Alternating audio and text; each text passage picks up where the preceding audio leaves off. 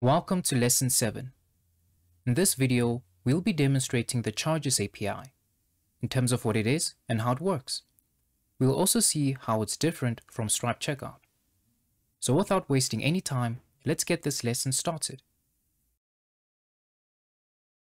So the Charges API is an older version of handling payments, but is still as useful and functional as the Payment Intents API. The only difference is the lack of SCA or strong customer authentication. And the Charges API does make numerous calls or features available to us, such as creating a charge using a token, creating a charge using a card ID, creating a refund, or adding and deleting a card. So in this lesson, we'll see a live example of all these types of calls, then we'll check how they're done in the workflows. So let's start with creating a charge using a token. As pointed out here, you can create a charge and use a one-time use token as the source of the funds. The token will be created using the provided card details. So to see an example of this, we'll need to fill in the form and click on the pay button. As you can see, the charge was successful. So let's check how it's done in the background. So when the pay button is clicked, we are using the action that creates a card token. And this action creates the card token using the information given in the form. Notice that this action is linked to a token element, which is this one placed on the page. We simply named it Stripe Marketplace Token B, but in your own app, you may name it whatever you want. But to complete the payment process, another event is used, which is this one. And also notice that this event is also linked to the same token element. And within the first step, we are using the action that charges the customer.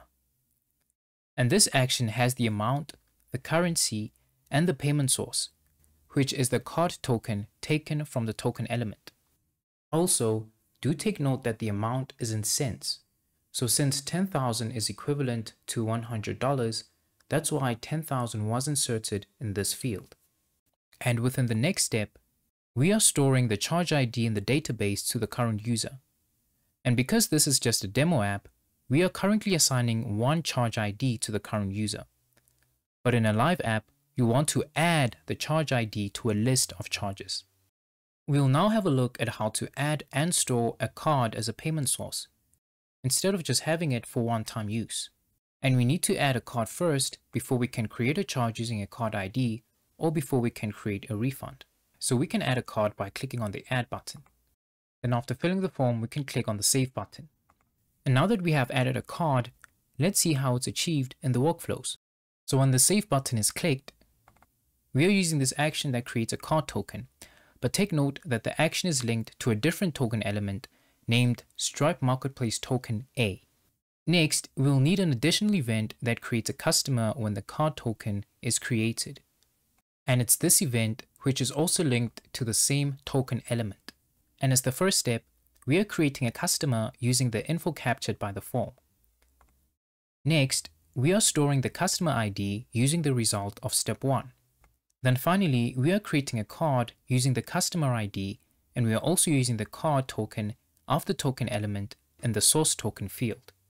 So now that we have a card added, let's see an example of creating a charge using a card ID.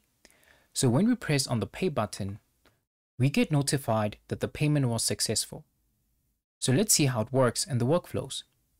So when this pay button is clicked, we are using the action that charges the customer using the customer ID and the card ID that we stored in the database. Next, we are storing the charge ID into the database for the current user. Let's now have a look at the process of creating a refund. We can do that by simply clicking on the refund button. And just like that, the refund was made. So let's now check the workflows. So when the refund button is clicked, we are simply using this action that creates a refund. And inside the action, we are providing the charge ID of the charge that we'd like to refund within this field. Finally, we are making changes to the current user by removing the charge ID from the database. And now that we have seen examples of the previous calls, it's now time to see how a card is deleted. So that can be done by simply clicking on the delete button and the card will be deleted from the database. Now let's see the workflows. So when the delete button is clicked, we are using the action that deletes a card. And we need to provide the customer ID as well as the card ID. And in the next step, we are simply clearing up the card ID from the database. Now at this point, we've had a look at both SCA calls and the Charges API. But what's the difference between the two? And which one should you use for your own app? As mentioned before, Stripe Checkout and the Payment Intents API both use SCA. So that means all the calls provided by Stripe Checkout and the Payment Intents API are 3D secure. But regarding the Charges API, it does not use SCA or strong customer authentication. So the calls provided by the Charges API are not 3D secure. So because of this, SCA calls and the Charges API are not compatible.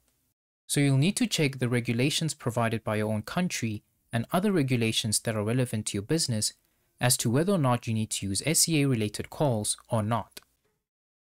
And that brings us to the end of lesson 7. In lesson 8, we'll be exploring real examples that use the Stripe Marketplace Express plugin. And this will help you gain a better understanding of some of the concepts we have covered. So thanks for having a look at this video and we'll continue in the next one.